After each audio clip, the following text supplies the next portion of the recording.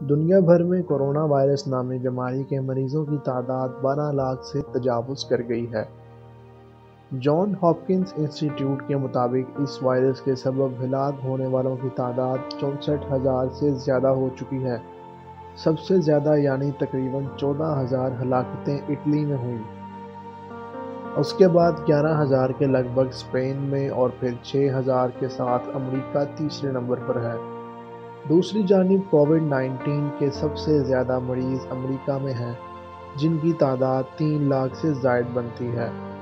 दुनिया के नबे से जायद ममालिक ने अपने शहरीों से गैर ज़रूरी तौर पर घरों से बाहर ना निकलने की हदायत जारी कर रखी हैं।